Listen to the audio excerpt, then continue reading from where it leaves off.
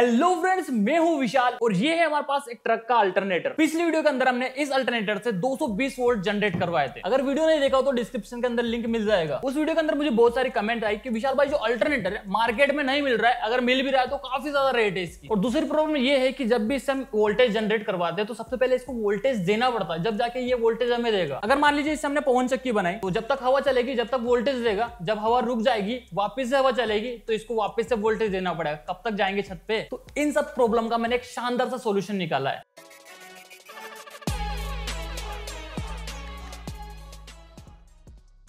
ये है हमारे पास इलेक्ट्रिक साइकिल की मोटर ये 350 वाट की एक मोटर है। जब भी हम इसके अंदर वोल्टेज देते हैं तो हमारी मोटर चलने लगती है। लेकिन डीसी मोटर की एक खास बात और होती है। वो क्या खूबी है? आप खुद देख लीजिए। मोटर के दोनों वायर को, दोनों मल्टीमीटर के वायर से कनेक्ट कर देते हैं। मोटर को जब रिवर्स घुमाते हैं तो एज ए जनरेटर का काम भी करती है। जैसे आप यहाँ पर देख सकते हो, मैं इसको हाथ से घुमा रहा हूँ तो यहाँ पर जो हमारा डीसी करंट जनरेट हो रहा है यहाँ पर आप देख सकते हो, जैसे मैं इसको हाथ से घुमा रहा हूँ, काफ़ी धीरे धीरे घुमा रहा हूँ, लेकिन फिर भी तीन से चार वोल्ट के आसपास जनरेट हो रहा है। लेकिन इस अल्टरनेटर को जब हाथ से घुमा रहे थे तो भाई यहाँ पर हमें जो वोल्टेज मिल रहा था, वो एक से दो वोल्टेज ही मिल रहा था। यहाँ पर एक सिकंजे के अंदर लगा देंगे इसको, और यहाँ पर इसको लगाने के बाद में हम चेक करेंगे कि इससे हम क्या क्या चीज़ें चला सकते हैं। अभी मैंने इसको सिकंजे के अंदर लगा दिया है, अब यहाँ पर इसका मैक्सिमम वोल्टेज चेक करेंगे कि ये वोल्टेज कितना निकाल रहा है मैक्सिमम इसको ड्रिल मशीन से चलाने के बाद में। तो फाइनली जब यहाँ पर ड्रिल मशीन से चलाते हैं और चेक करेंगे, इसमें वोल्टेज कितना निकल रहा है मैक्सिमम फाइनली गाइस चल चुकी है।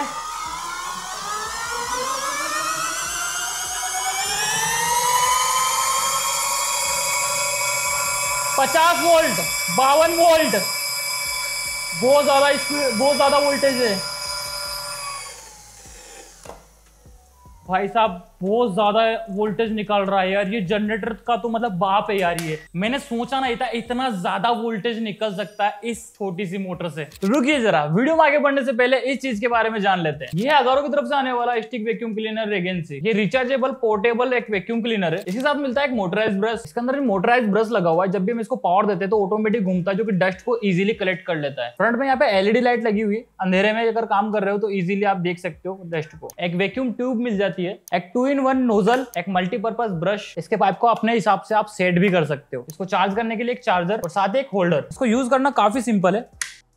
इसके ऊपर की साइड में दो बटन दिए गए एक ऑन ऑफ़ के लिए। दूसरा मोड वाला बटन है, जिसके अंदर नॉर्मल मोड और मैक्सिमम मोड में आप चला सकते हो। इसके आगे की साइड में चार्जिंग इंडिकेटर दिया गया है। इसके अंदर 110 वाट की पावरफुल मोटर लगी हुई है, जो कि आपको काफ़ी अच्छा सक्शन पावर दे देगी। इसके अंदर लगी हुई है बाईस एमएच की पावरफुल बैटरी जो की आपको आधे घंटे तक का बैकअप दे देगी। इसको चार्ज करने में चार से पाँच घंटे लगेंगे।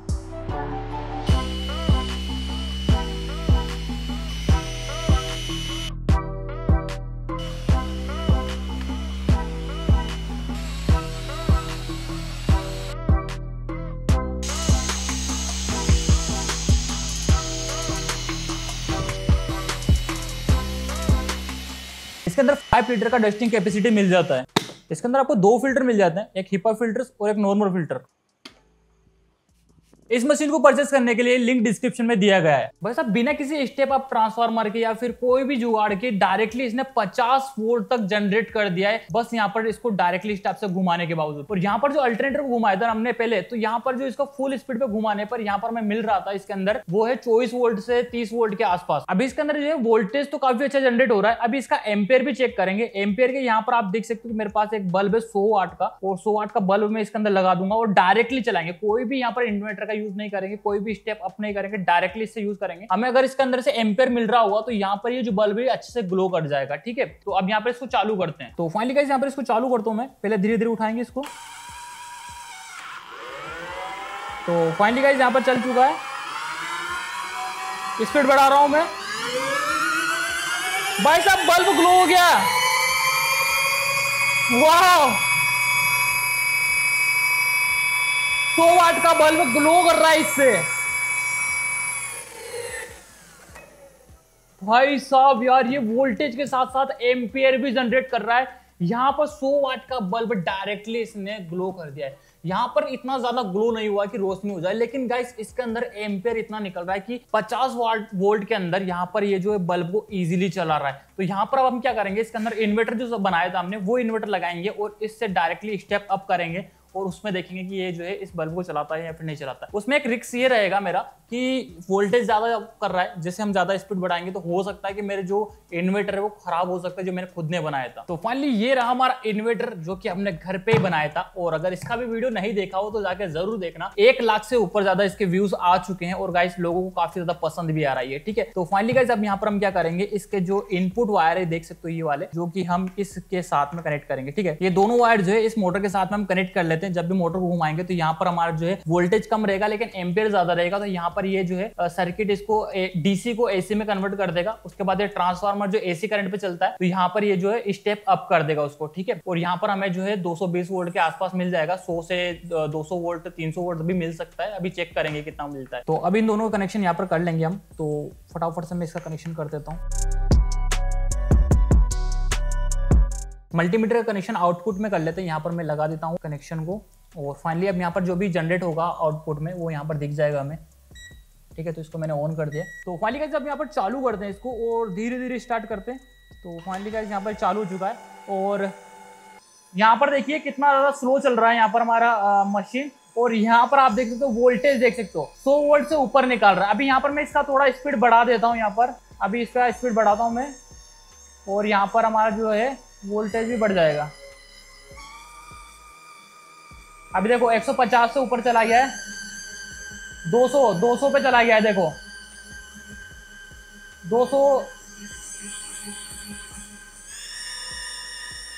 240 पे चला गया है। तो काफ़ी अच्छा वोल्टेज निकाल रहा है, काफ़ी लो आरपीएम पे निकाल रहा है। तो अभी यहाँ पर हम क्या करेंगे, इसके अंदर बल्ब लगाएँगे और बल्ब को देखेंगे ये ग्लो कितना करता है। तो फाइनली यहाँ पर मैं इसका कनेक्शन कर देता हूँ। फाइनली गाइज़ ये जो है, इस टाइप से हमने लगा दिया है। अभी यहाँ पर इसका कनेक्शन भी कर देते हैं ताकि हमें पता रहे कि वोल्टेज कितना जनरेट होता रहे। ठीक है?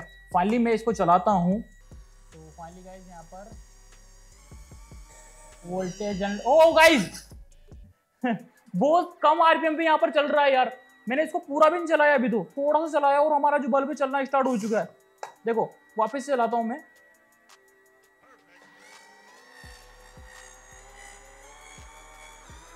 ओ बल्ब देखो, बल्ब। भाई साहब, ये पूरा ग्लो कर रहा है।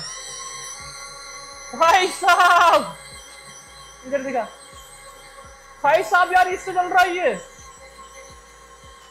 ये देखो, मैं कम स्पीड कर रहा हूँ, कम चल रहा है, पूरा स्पीड करूँगा। ये देखिए।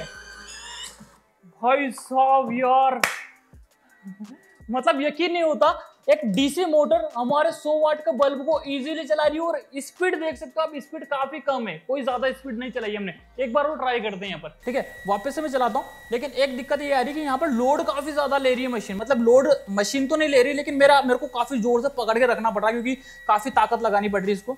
तो यहाँ पर वापस चालू करते हैं। वाह भाई साहब, पूरी पूरी फुल स्पीड में चल रहा है बल्ब भाई साहब। और स्पीड देखो, स्पीड कोई ज़्यादा नहीं है। बहुत ही कम स्पीड में। बहुत कम स्पीड में हमारा सौ वाट का बल्ब चल रहा है इजीली भाई साहब, मज़ा आ गया यार। भाई साहब यार, ये जो है ना, ये, भाई साहब यार, ये जो मोटर है, इस अल्टरनेटर से ज़्यादा करंट निकाल रही है। जब हमने इसको ट्राई करा था ना, जब आपको दिखाया था मैंने तो उसके अंदर बस एलईडी बल्ब लगा के दिखाया था। क्यों? क्योंकि उसके कारण ये था कि हमने 100 वाट का बल्ब भी लगाया था, लेकिन नहीं ग्लो कर पा रहा था। तो यहाँ पर हमने क्या कि वो वीडियो के अंदर दिखाया नहीं, क्योंकि उससे चल ही नहीं रहा था तो कोई मतलब नहीं था।